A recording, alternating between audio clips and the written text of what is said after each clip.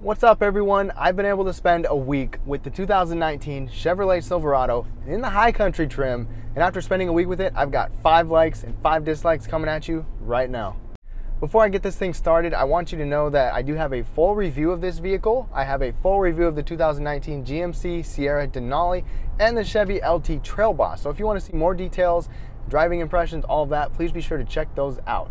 Now in no particular order, starting with my likes, my like number one is that this is the most tested GM product ever produced. In fact, reading some materials, they say that they've got 7 million miles of real world testing on this truck before it came out for you guys. And they even said that they sent some home or sent several models home with people to kind of work and test out all the bugs and catch anything before it was actually made available to you guys. So it's really good to know that this vehicle was heavily tested and then hopefully it's very reliable and you know stands the test of time. My like number two, that's actually two different things. We've got our rearview mirror. And the rearview mirror on some trims can give you a rear camera. So you can flip a little switch on it and then you can see behind you. You can see, you can zoom in, you can change the brightness, you can move it up and down. It's really handy and I actually leave it on pretty much all the time. The next thing is the surround vision camera.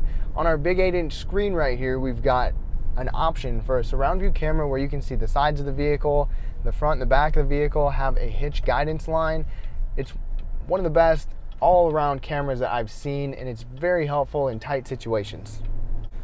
My like number three is the back seat. They made some improvements to that. And before, this was not on par with like F 150 and Ram, the Tundra. Those were all bigger than this in the back seat, but now they've got three more inches of legroom. We've got storage in the actual seat back, which is really nice. We've got AC vents, uh, charging ports, a handle for backseat passengers to get in. Overall, a really awesome package back there.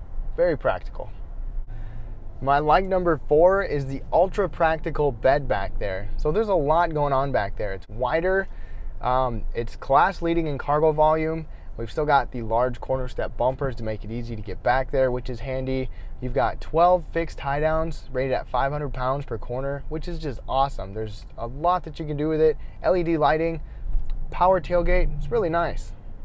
My like number five is the fact that you've got options. You've got options for trim levels. We've got eight different trim levels. They've got some that are, you know, like the work truck. You've got the mid trim levels.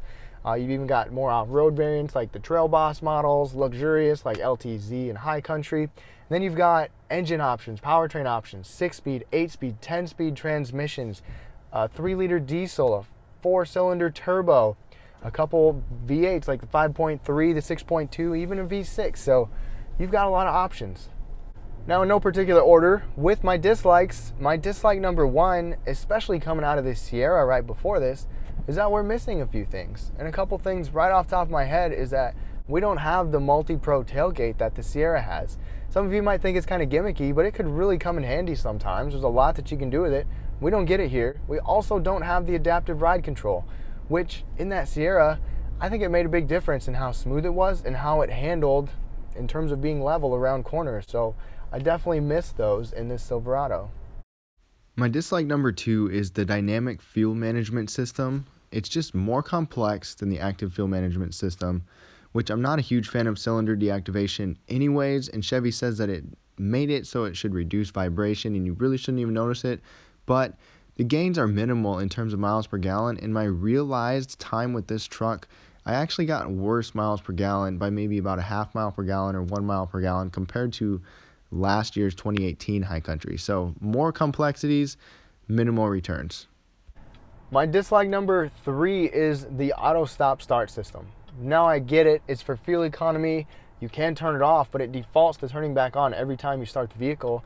But in this 6.2 liter, it's really obtrusive. I mean, it's I'm gonna try to show you guys here in a second. It's the engine is off right now and it's gonna turn on. So it just turned on right there. It's kind of got a mind of its own before I even actually get a chance to to accelerate, but when you're stopped and then when you want to go and I have a pretty quick foot from the brake to the gas, it's you feel it a lot more than I remember in the 5.3 liter and it's a little slower to where you got to wait a second before you can actually accelerate and I just I just don't like it. My dislike number 4 We've got all the safety features, you know, blind spot, lane keep assist, all that, but there's no radar cruise control. I don't understand why, and you know, some of you don't care, don't really want it, but it's just not available.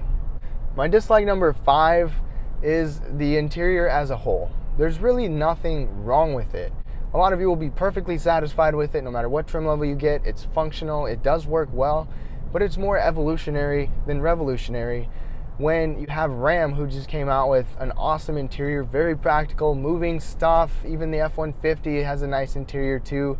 You know, compared to the F-150, I don't know. I haven't been able to spend time in the F-150 yet, but I do get one next week. However, it's just not what I was expecting. I saw it and I was like, is that it? Really? Like, it just looks pretty much the same. It's, like I said, it's functional, but I honestly think I prefer the 2018 at least cargo area, center console area more than this 2019.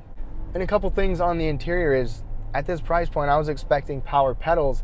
We got power pedals on the last interior. The seats, these are 10 way power. I'm pretty sure it was 12 way power before. And the steering wheel is just manual telescoping and tilting when it could be power. Just a couple things that they didn't include.